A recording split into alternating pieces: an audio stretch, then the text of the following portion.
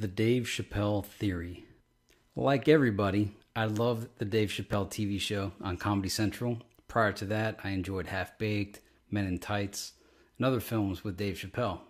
And like everybody, I was bummed out when Dave Chappelle went missing and there was no real season three for the show. And uh, then I started looking things up. I started asking questions, and I found this clip that seems that everybody's seen and everybody quotes it, but I just love this particular part.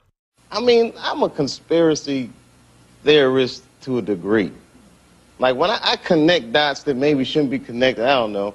And I like that clip because I too am a conspiracy theorist to a certain degree. yeah, ask anybody that knows me, they're like, nah, nah, he's a full fledged tinfoil maniac. But hey, I'll take any ally I could get in this world of non truth, of those that are just trying to find a little bit of truth, speak the truth, and stop the propaganda, the lies, the deceptions. I love that Dave's out there and that he's conspiracy theorizing along with me. And that clip from the Oprah show is known as the infamous Dave Chappelle talks about wearing the dress clip. And if you could see it, it's on YouTube. There's hundreds of thousands, if not millions, of views on it, which is great. But I'm not here to talk about that particular clip. Many people have talked about that already. I'm here to talk about the, the Chappelle theory. So, you know, I wanted to find some answers about Dave. You know, what happened? Well, the show was so big, it was such a big deal. And I stumbled upon a website called ChappelleTheory.com, and it had this incredibly well thought out storyline that interconnected every single skit from the Dave Chappelle show into this giant conspiracy theory involving a ton of people. And and it turned out to be a hoax or some kind of marketing gimmick, but it was so good, like it captivated my imagination and it brought to life all those skits and you really could see how they all kind of interconnected based on the lens and context of whoever wrote this. And it's it's not online anymore. I went on archive.org to find it and luckily it was still there. And so in this video i'm just going to narrate what chappelletheory.com used to have on it so i'm not saying this is a real story i am giving credit to whoever created this this is outstanding reading material and the way this person connected the dots did such a great job. And I just want to make this here for posterity so that people could enjoy this for years to come. So let us begin. The Chappelle Theory, confidential. A word before you begin. This account of Dave Chappelle's fall from grace has been pieced together by me, a retired public relations executive who wishes to remain anonymous. My contacts, many of whom were closely related to the individuals involved, enabled me to fairly accurately recount the events that took place. You could take this for what you wish, but it is the truth, the abhorrent byproduct of the industry I used to hold to such a high esteem. I have written this account without the need for embellishments or exaggerations, for the truth is appalling enough. Let this site serve as a drawn curtain to the entertainment industry which is blindly adored by the entire world. Introduction. And there's the link below uh, where I was able to pull this up. You can see it on the web, on the screen right now. Introduction, page one. On August 3rd, 2004, comedian Dave Chappelle signed a contract with Comedy Central valued at $50 million. The contract committed him to two more seasons of his hit television series, Chappelle's Show. Chappelle's Show was a runaway success. It was lavished with praise by mainstream and underground media alike and was Comedy Central's most talked about series. It was a juggernaut on DVD, selling more than 1.7 million copies of its first season, a record for any television show. All seemed right in the world of Dave Chappelle, and all seemed right with Chappelle's show. After years of hard work, Dave had reached the pinnacle of his chosen profession, largely on his own terms and had been rewarded handsomely for it. Personally, Dave's life was also prosperous. He had a beautiful wife and lovely children and was close to both his mother and father, though the two had divorced years earlier. He was also a devout Muslim, and his faith had been a source of strength throughout the tumultuous production schedule of the first two seasons of Chappelle's show. But nothing, not even religion, could prepare him for what lay ahead. Introduction, page 2. After signing the contract, Dave looked forward to returning to his rural Ohio home to spend some time with his family before hunkering down to begin work on show's highly anticipated third season. But Dave was haunted by a secret, one that only he was aware of, and one he couldn't share with anyone, lest his comedy empire crumble. He knew that at the same time he was signing his record setting deal, there was a secret cabal of powerful African American leaders from the business, political, and entertainment industries working together to ensure that the third season of Chappelle's Show would never happen. At one time or another, each member of this loosely knit, informal group had played a key role in Chappelle's rise to stardom. They had been instrumental in securing movie and television roles, offering counsel, and simply aiding Chappelle financially when his stand up work couldn't pay the bills during his lean early years. Over the last two years, they had watched warily as Chappelle's show had become the Comedy Central's premier show, eclipsing even South Park and The Daily Show in terms of buzz. Introduction page 3. It was reported that they had voiced their concerns about Chappelle's show to Dave many times over those two years, showing their displeasure with the direction that the show was taking. However, their actions could not steer Dave away from the comedy that was most natural to him. Collectively, they felt Chappelle's show reinforced negative stereotypes about African Americans and that its content was, in the words of group leader Bill Cosby, setting race relations back 50 years. The $50 million deal that Chappelle signed was the straw that broke the camel's back.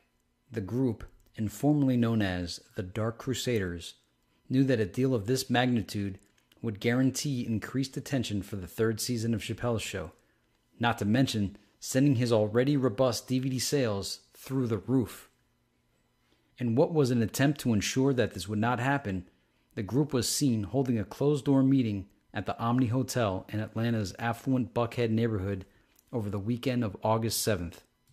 During that weekend meeting, recovered documents by the hotel staff revealed that they finalized the comprehensive five point plan to bring an end to what some of the members had termed the Chappelle problem.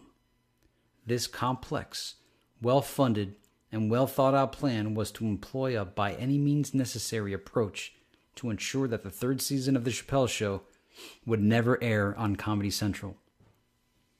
What follows is the story of the events that led up to and ultimately were responsible for Dave Chappelle's fall from grace. Introduction, page 4 The Dark Crusaders an ad hoc organization whose members were an all integral part of Dave Chappelle's early life and career, the group known as the Dark Crusaders came together to sabotage Chappelle's career because they felt the material on Chappelle's show was not reflecting well on the black community. Using a mix of measures, the Dark Crusaders achieved its primary goal the cancellation of Chappelle's show's third season and the near crippling of Chappelle's comedy career. Al Sharpton, Bio former mayoral, congressional, and presidential candidate, civil rights activist, reparations advocate, Pentecostal minister, Sharpton spearheaded the controversial efforts to bring Tawana Brawley's rapist to justice, and continued to do so even after authorities unearthed evidence that Brawley's accusations of rape were fabricated. Connection to Chappelle? He was a rabid fan of stand up comedy who took an early liking to Chappelle and offered support and encouragement early on in his career. Jesse Jackson, bio. Former Martin Luther King confidant and presidential candidate, founder of the Rainbow Coalition, and prominent civil rights leader for over 40 years. Presidential hopes were dashed when it was revealed that he once referred to Jews as Hymies and New York as Town during an off the record conversation with reporters.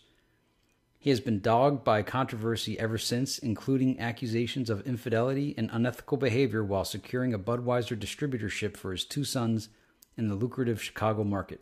Connection to Chappelle.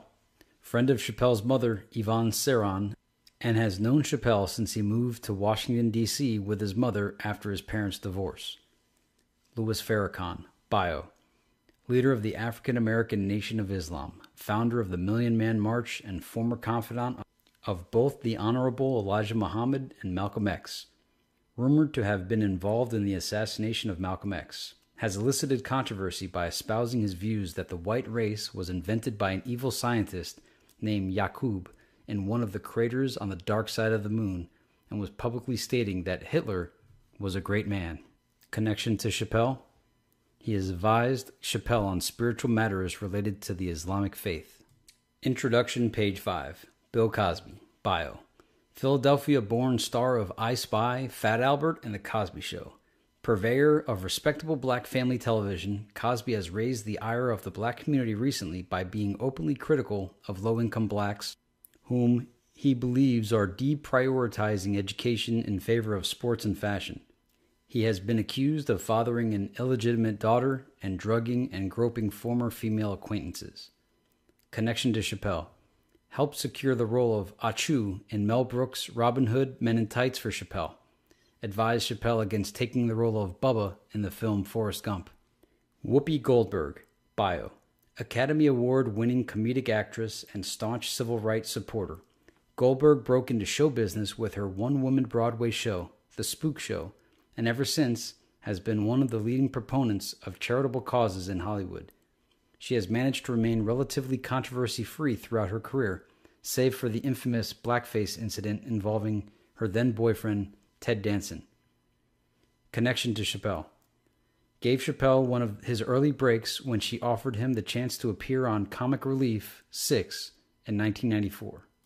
Introduction, page 6. Oprah Winfrey, bio. Billionaire talk show host and the most powerful woman in show business. Winfrey has successfully defended herself against the spurious lawsuit brought by the Texas Cattlemen's Association.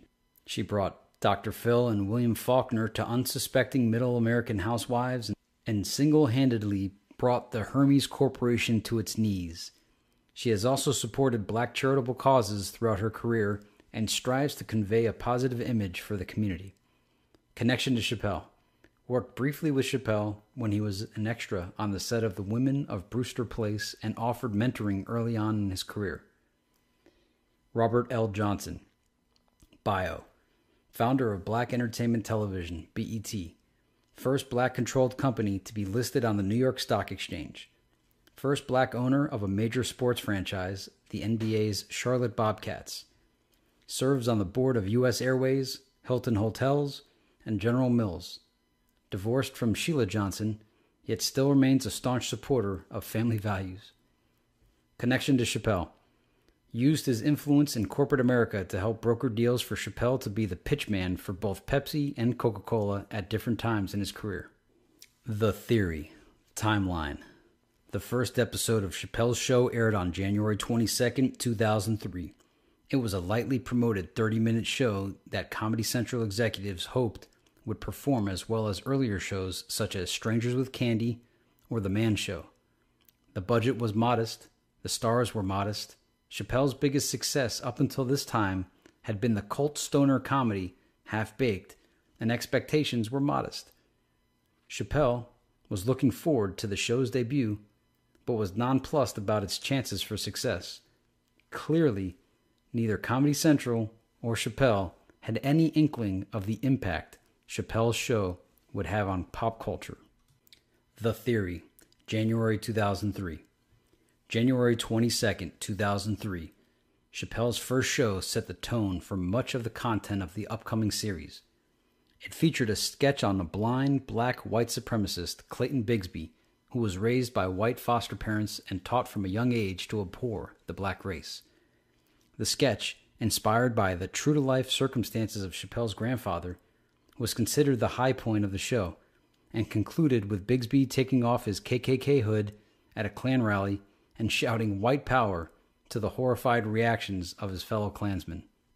According to Nielsen ratings, the show was seen by approximately 2.5 million viewers on its opening night. A small audience, but respectable for the debut of a basic cable show. One of the viewers that night was Bill Cosby, an old friend of Chappelle who had helped him secure movie roles early in his career. Bill later recalled being eager to watch the show to see how Dave's career was progressing.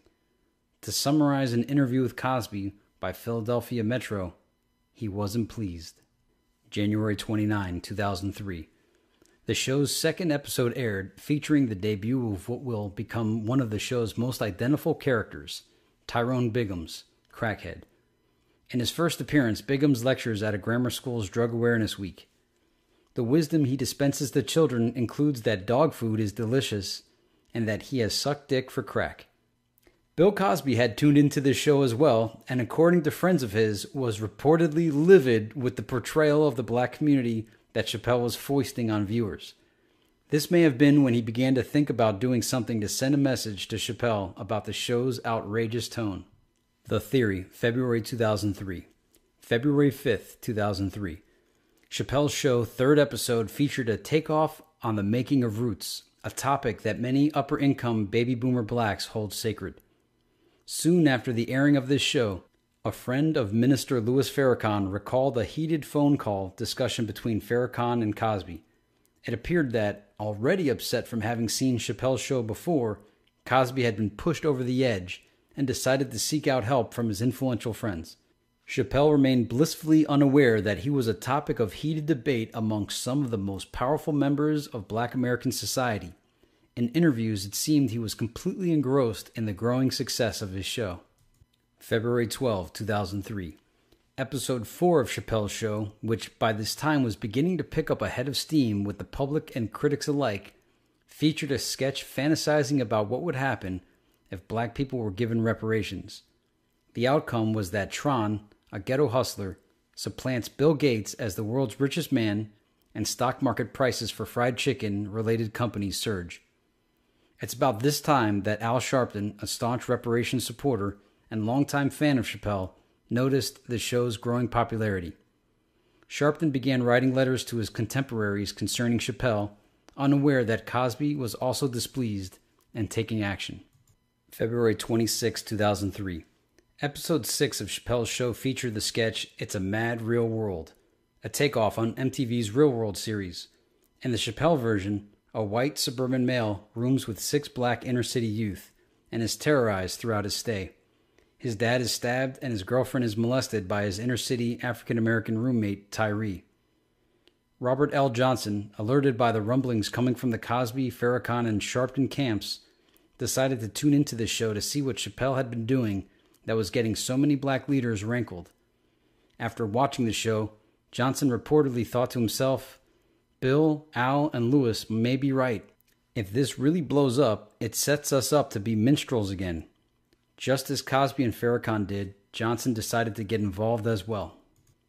The Theory, March 2003. March 5th, 2003.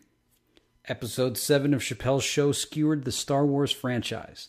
It had a bit based around sexual molestation that occurs at the Jedi Academy. A reportedly furious George Lucas demanded that his secretary place a call to Whoopi Goldberg, a longtime friend of Lucas as well as an early benefactor and friend of Chappelle. Lucas wanted her to see if she could get word to Chappelle that he is not amused. According to Lucas's secretary, it seemed as if Goldberg, like Bill Cosby, did not agree with the message that Chappelle's show was sending to the African American youth. March 12, 2003. Episode 8 of Chappelle's show saw the reemergence of the Tyrone Biggums, crackhead character. During his appearance, Tyrone is lured to an intervention with the promise of free crack. After the show's conclusion, a reportedly furious Cosby got Farrakhan and Al Sharpton, who he had heard was also concerned about Chappelle's effect on the African American community, on a conference call the three men decided to meet for lunch at Farrakhan's Chicago residence to discuss what action to take. March 19, 2003. Episode 9 of Chappelle's show was the one that captured the attention of Black America's biggest power broker, Oprah Winfrey. The sketch that alerted Goldberg to the growing Chappelle phenomenon came to Oprah's attention in a roundabout way. The Player Haters Ball sketch featured an aside by the Silky Johnson character talking about how Rosie O'Donnell wears underwear with a dick hole in them. O'Donnell mentioned the remark while lunching with Winfrey at the Palm in West Hollywood the next day. Winfrey, who had supported Chappelle early on, had her staff get a tape of Chappelle's show so she could take a look at the sketch. She was appalled that the subjects Chappelle mined for humor and immediately began calling friends in the black entertainment and business communities to see what they thought of the show's content. March 26, 2003. The season's 10th episode features the R. Kelly Piss on You video. This controversial sketch ignited a world of criticism and unsurprisingly caught the attention of Bill Cosby. In a call on March 27th, Cosby voiced his concerns directly to Chappelle. In an aside to a coworker, Chappelle reportedly telling Cosby how he was thankful for his insight, but while the show was riding a wave of acclaim, he didn't want to tinker with a successful formula. He believed Cosby was just overreacting and didn't think much of the phone call. The Theory, April 2003. April 9th, 2003. The season finale of Chappelle's show featured a sketch spoofing the popularity of mate swap reality television programs.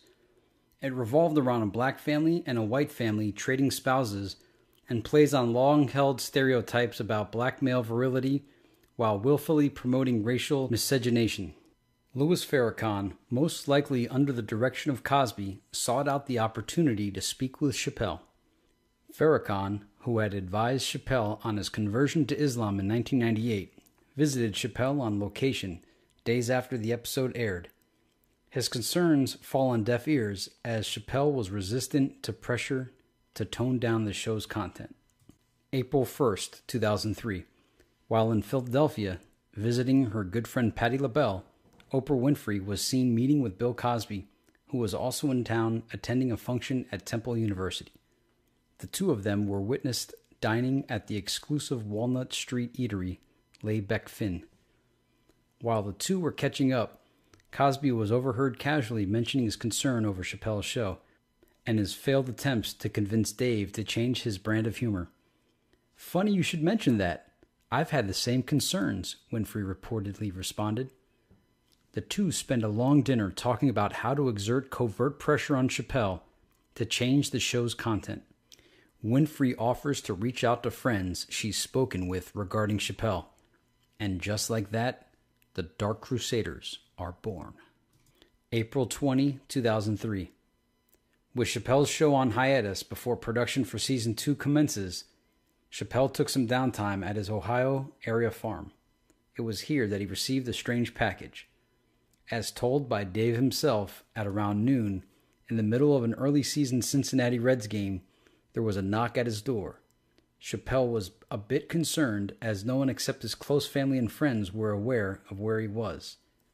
When he opened the door, all he found was a crudely wrapped package with the inscription for Chappelle on it. Inside the package was a voodoo doll style replica of Chappelle dressed as Clayton Bigsby, the African American Klansman from his first show. The doll was riddled with safety pins and had a noose tied sharply around its neck. Accompanying the doll was a message in a childlike scrawl that read, what you're doing is hurting the African American community. It needs to stop. Chappelle was extremely bothered by the development, but later chalked it up to a local group of black nationalists, probably some college kids from Antioch, a nearby university, looking for kicks. Though Chappelle was unaware of it at the time, this was the first assault by the Dark Crusaders aimed at shutting down his comedy career. The Theory, July 2003. July 4th, 2003. While enjoying a holiday weekend with his wife at the Four Seasons in Santa Barbara, Chappelle alerted the staff that he received a late night phone call to his room that told him, If you know what's good for you, you'll stop using your show to denigrate African Americans.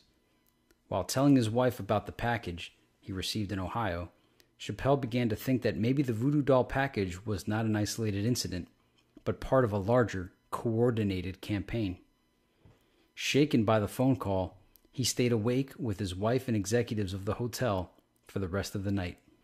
The Theory, August 2003. August 31st, 2003. As Chappelle began production on the second season of Chappelle Show, strange things started to occur. Scripts for the sketches began disappearing. Featured players weren't showing up on the set and illnesses were plaguing key members of the crew.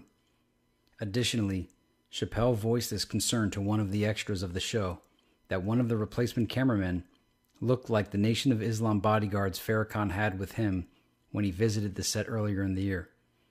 Upon confronting him, Chappelle learns that the replacement cameraman was originally from Chicago, was a fellow Muslim, and was a member of Farrakhan's congregation.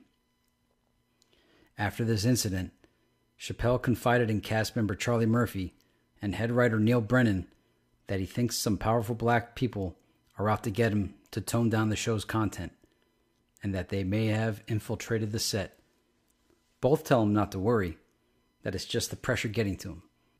But personally, both worry that the pressure to succeed may have been getting to Chappelle and express concern to other crew members. The Theory, September 2003. September 15, 2003. While in Washington, D.C. on a weekend break from shooting, Chappelle and his mom decided to catch a movie. Shortly after the movie started, witnesses reported a man who looked like Al Sharpton taking a seat behind Chappelle and his mother.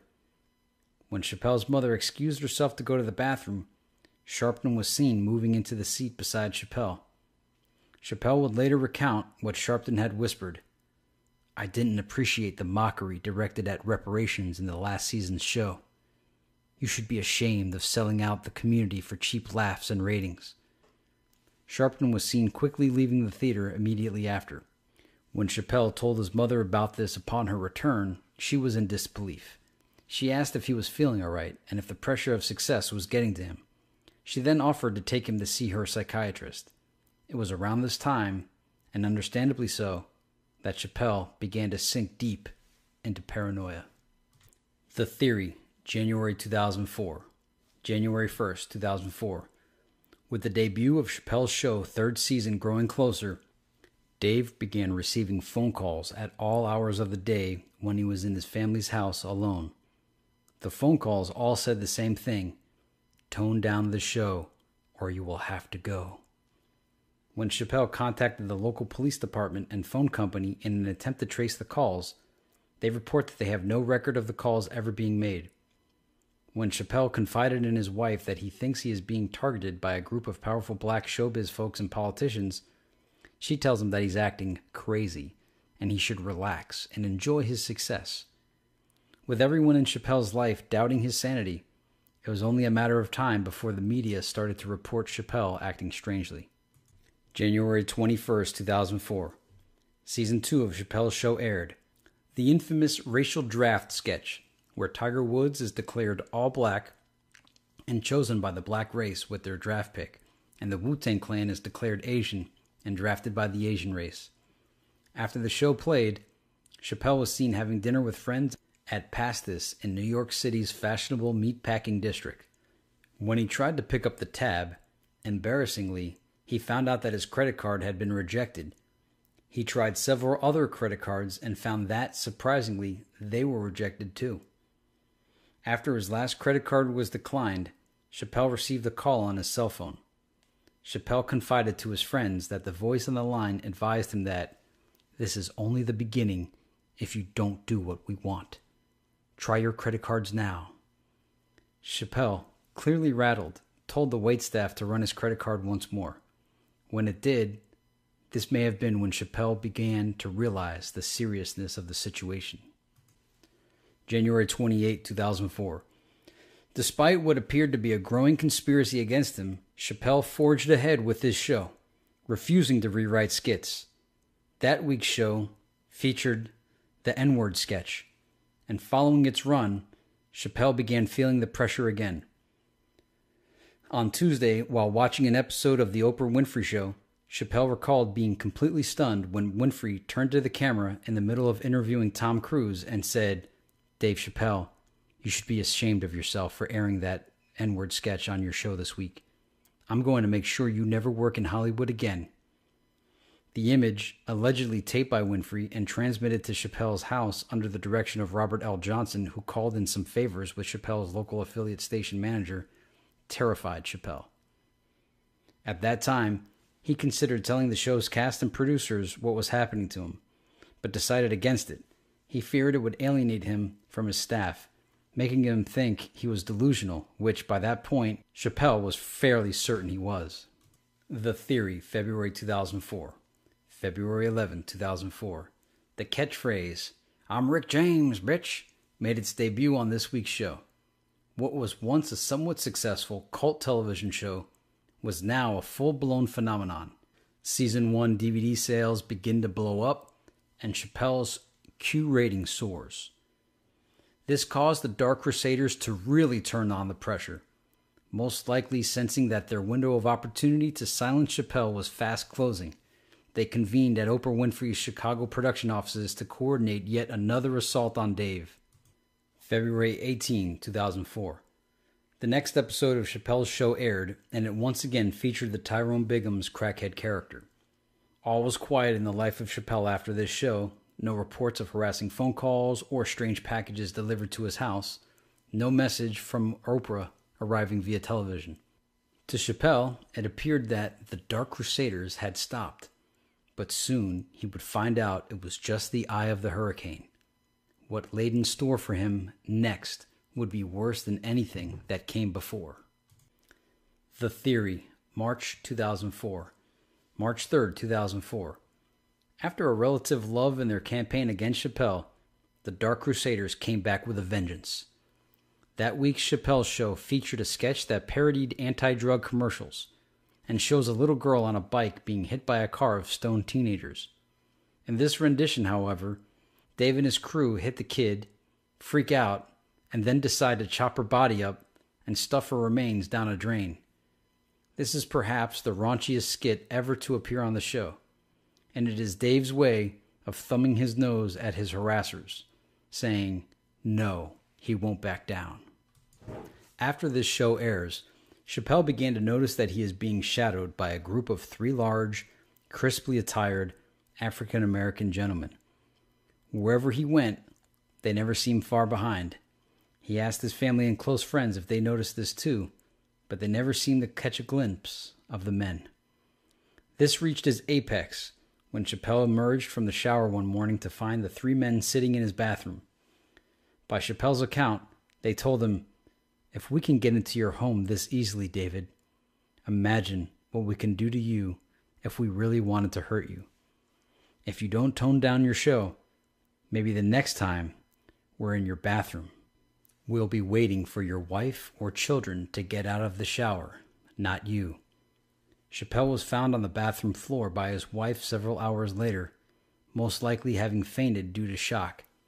When he tried to relate the story to her, she immediately called for an ambulance, thinking, and rightfully so, that her husband was having a nervous breakdown.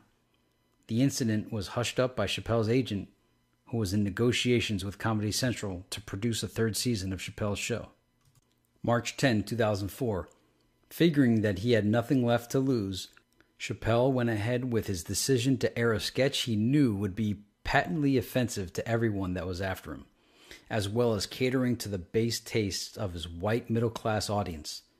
The sketch, called I Know Black People, centered around Chappelle asking people who claim to know black people questions about black culture. Some sample dialogue between Chappelle and contestants includes Chappelle, what is a chicken head? Professor. That's a woman who um puts her mouth on the member of a or sometimes called a crack whore. Ring. Ding ding. Chappelle. That is acceptable. That is one of the many definitions of a chicken head. Chappelle knew that there would be retribution for this, but at that point, he probably figured if he was going to go down, he was going down fighting. The next day, a friend recounted a frantic phone call from Chappelle at 2 p.m.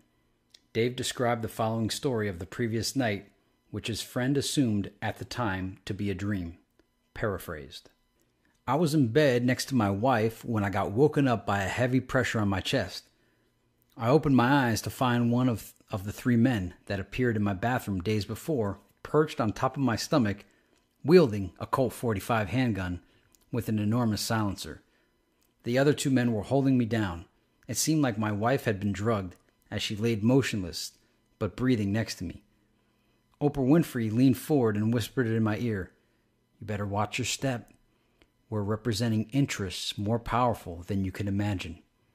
You do remember that Farrakhan killed Malcolm, and that Cosby, Johnson, and I have more money than God.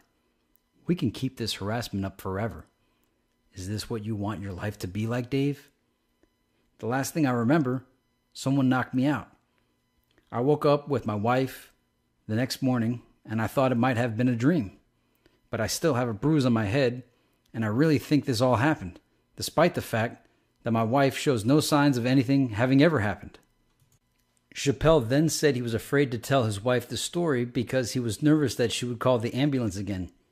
He told his agent that he felt he needed bodyguards, but his agent advised against it for fear that it would make him look too paranoid and jeopardize his career. Since it seemed like he could get no outside help, he decided to take matters into his own hands. March 24, 2004. On the next show, Chappelle decided to attack Oprah directly, as he now knows she is behind all of the harassment. The skit, called Dave Gets Oprah Pregnant, centered around Dave getting a call from Oprah informing him that she is going to have his baby. After hearing the news, Dave quits his job and moves in with Oprah, spending her money like it's going out of style. Chappelle felt that he had the leverage to get away with this, as Winfrey wouldn't want her involvement to unseat Chappelle made public. He soon realized his leverage wasn't as strong as he had thought. Nothing seemed to happen immediately following the airing of the show. Like before, things seemed oddly quiet. Chappelle began to noticeably gain more confidence on the set and grow a bit more comfortable with the situation, despite all that happened so far. The Theory, April 2004. April 7, 2004. Chappelle again decided to send a message through his show's material by opening with a sketch called Dave Quits Chappelle's Show. The sketch had him doing exactly what his antagonist wanted him to do stepping down from the show. In the sketch, executives at Comedy Central replaced Dave with Wayne Brady. The show ended with a sketch that has Wayne Brady acting like the thugs Chappelle's characters often portray on the show, with Wayne killing police officers, beating Chappelle, and partaking of copious amounts of drugs. Dave, after this episode's production, reached out to Brady, who he knew was a close friend of Oprah, to see if he could intercede on his behalf. Brady acted like he didn't know what Chappelle was talking about, and as Dave recounted later, looked at me as if I was nuts. Chappelle failed yet again at reaching out for help. April 14, 2004. Technically, the third season finale aired, as the following two episodes were compilations of season two sketches. Chappelle treaded lightly during this episode. The constant harassment has had a deep psychological impact on him. Sketches include the first black man to use a white toilet, which poked fun at black historical figures and more insight into the life of Lil Jon. According to a stagehand, after the show, when Chappelle returned to his dressing room, he found the package containing pictures of Malcolm X, Biggie Smalls, Tupac Shakur, and himself with the words, You're next, scrawled across his picture. The Theory, August 2004. August 7th, 2004. In the wake of Chappelle's record breaking deal, the Dark Crusaders likely realized they had very little time to formulate a plan to shut Chappelle down once and for all. The third season of the show would reach an even broader audience than the previous two seasons, and if they were to do anything, timing was important. The entire group was seen meeting over the August 7th weekend at the Posh Omni Hotel in Atlanta. They were able to keep the meeting out of the press as Robert L. Johnson owns an interest in the hotel and arranged for the entire top three floors of the hotel to be reserved for the group. However, the underpaid staff was quick to vent their frustrations on the organization of this event, which is how I came to know this information. According to some of the documents left behind by the group, they seem to have emerged with a definite plan, a plan developed largely by Al Sharpton and Louis Farrakhan, and most likely financed by the deep pockets of the rest of the group. August 31, 2004. While Chappelle was in Yellow Springs preparing to spend the Labor Day weekend with his friends and family, he received a phone call from his father, who was a professor at nearby Anti Antioch College. His father told Dave that Louis Farrakhan will be passing through town on a lecture tour and that he had called his father, an old friend. The two had met in the 60s when Mr. Chappelle was a black radical to invite him to dinner. He also mentioned that Farrakhan said he would enjoy seeing Dave during his visit, according to interviews conducted with Mr. Chappelle. Chappelle allegedly tried to warn his father Don't go see Farrakhan. I think he's involved in a group that's trying to shut me down, and you may be in danger. However, his father did not take this very seriously. He recalls as Mr. Chappelle told Dave he thought the stress of being famous may be getting to him. I told him to stop acting ridiculous. Why would Minister Farrakhan bother himself with something like that? His father reported. The Theory, September 2004. September 5th, 2004. Chappelle received an anonymous letter in the mail that said, Only those who wish to be led to hell or to their doom will follow Chappelle. It echoed what Farrakhan wrote in the Nation of Islam paper, Muhammad Speak Regarding Malcolm X, two weeks before his assassination. As he recalled, Chappelle thought about going into hiding after this, legitimately beginning to fear for his life. But the pre production and filming for the third season of his show was set to begin shortly. September 10, 2004. Farrakhan dined with Dave Chappelle and his father while he was in the Yellow Springs area. When Mr. Chappelle excused himself to go to the restroom, Farrakhan leaned in to Dave and said, It certainly would be a shame if anything were to happen to your father. Nearby diners reported. Chappelle said nothing when his father returned, most likely because he felt his father would have no reason to distrust his old friend, Louis Farrakhan. After dinner, Chappelle placed a call to his close friend and fellow comedian Mario Cantone, who he thought he could count on for help, to reveal what has been happening to him. September 25th, 2004. After placing the call to Cantone, Cantone seemed to have vanished. Despite numerous attempts by Chappelle, he was, he was unable to get a hold of him, co-workers recalled. Chappelle then contacted the police in an effort to locate his friend. The police were resistant to begin an investigation, partly because Cantone's voicemail message reported that he was out of the country with no return date, and partly due to Chappelle's unwillingness to follow a missing persons report, most likely because he did not want the press to get involved. On September 25th, Cantone showed up at the studio where Chappelle was filming the third season of his show. Chappelle told Cantone that he's been very worried about him and asked where he has been. Staff members recall Cantone then pulling Chappelle aside and telling him, You're dealing with very dangerous people here. I have to advise you to halt production of the show immediately. Cantone then exited the studio very quickly. Chappelle was seen following Cantone and saw him getting into a car that looked to be driven by one of Louis Farrakhan's bodyguards. After this incident, Chappelle halted the day's work on the show and went back to his Los Angeles area hotel. The Theory, October 2004, October 15th, 2004. During this time, Chappelle began slipping into paranoia. He called his agent and told him he was thinking of pulling the plug on the show. When his agent asked why, Chappelle told him about the Dark Crusaders and how they were out to end his career. His agent reportedly laughed, but after realizing Dave was being serious, he recommended that Dave see a psychiatrist. Chappelle began to retreat further into his shell. People close to him noticed that he began to start drinking heavily and occasionally taking drugs. Word of this got out, and rumors began to fly in the press about troubles with Chappelle's show. The Dark Crusaders appeared to have finally reached Chappelle. The Theory, November 2004, November 12, 2004. After another talk with his agent, Chappelle rallied himself and tried to give the show one last shot. With a $50 million contract on the line, it wasn't surprising. During the show's production, Dave's secretary appeared on the set to give him messages for the day. One of those messages was from Dave's wife, who had run into Bill Cosby in Ohio. The message said that Cosby had invited Dave's wife and her friend to a screening of Cosby's show and that they were going. After hearing this, Chappelle immediately told his secretary to book the next flight to Ohio and left the set of the show running. This raised further concern with the show's cast members in Comedy Central.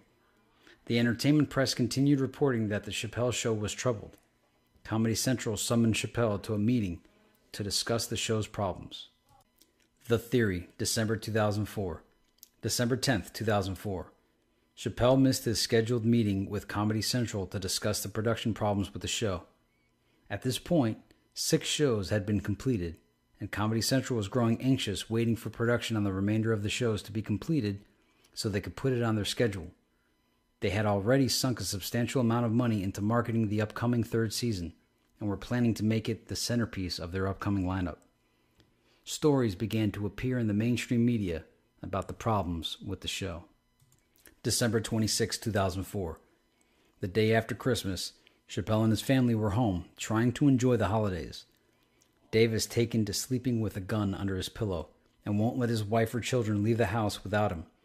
Privately, his wife had consulted with her doctor about institutionalizing Dave. On that day, Chappelle received a package that made him decide to halt the show's production for good. The package, which arrived via UPS, contained a picture of Chappelle's sleeping children taken the night before in Chappelle's house. A person who appeared to be of Al Sharpton's build was standing next to their beds. Chappelle called his agent, immediately hinting at what just happened.